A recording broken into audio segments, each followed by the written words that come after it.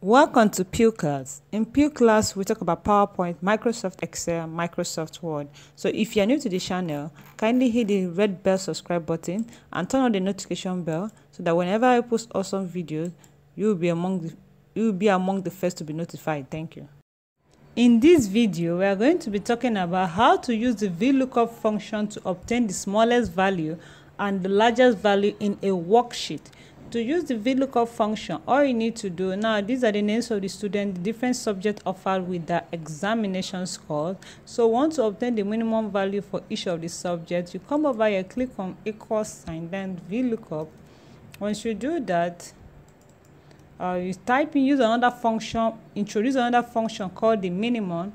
Once you introduce the function called the minimum, you select the column you want to obtain the minimum value for select the column then you close the bracket. Once you close the bracket that will become your lookup value. So comma the table array is for you to select the entire table.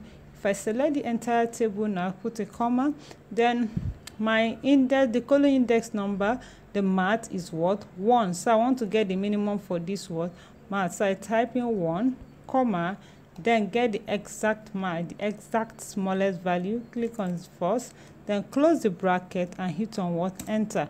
You obtain the minimum value for mathematics. So if you even look at the column you observe that the, the smallest value here is what? 38 so that is how you can obtain the smallest value using the VLOOKUP function. So if I select this and drag it towards the right, I can get all the smallest value for each of other subjects. Now if you look at the smallest value is 32, the smallest value here is 30 the smallest value here is 38 the smallest value here is 30 and the smallest value here is also 38 so this is basically how you can obtain the minimum value using the VLOOKUP function. So what of if you want to obtain the minimum value also using the if you want to obtain the maximum value uh, using the VLOOKUP function. To obtain the maximum value using the VLOOKUP function, all you need to do is to what? Come over here, you type in equal sign VLOOKUP bracket, you introduce the function called the max. The max, once you introduce the function called the max, you select the column again, select the column, close the bracket, comma, then you select the table array, which is the entire table, select the table array. Click on comma. Once you select the table array then you're going to select the column index number which is 1 for math is just 1 the first column 1 so you type in 1 comma then use 0 for exact uh, match close the bracket and hit on what?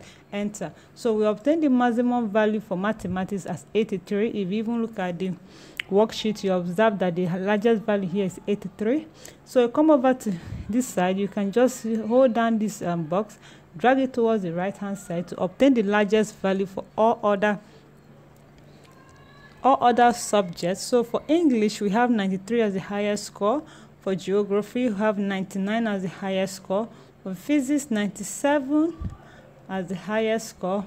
For chemistry we have 100 for history we have someone who scored 95 so we can see that we can basically obtain the largest and smallest value using the word VLOOKUP function. So if you are new to my channel kindly hit, hit the red subscribe button give this video a thumbs up and if you have any question drop it down in the comment section and i will be glad to attend to you as soon as possible. So thanks for watching and see you next time. Thank you